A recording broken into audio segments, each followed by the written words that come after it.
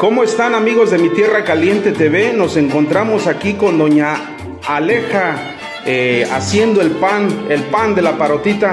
Para muchos que se preguntan cómo es la elaboración del pan de la parotita, como pueden ver, aquí ya lo están preparando.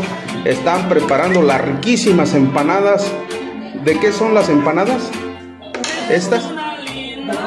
En este caso se están preparando de coco. Acá pueden ver todo el pan que ya tienen listos.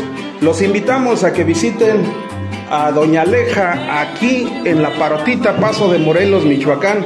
Que vengan y que disfruten de este rico pan. Y aparte del riquísimo pan, también pueden encontrar este queso sabrosísimo de la región.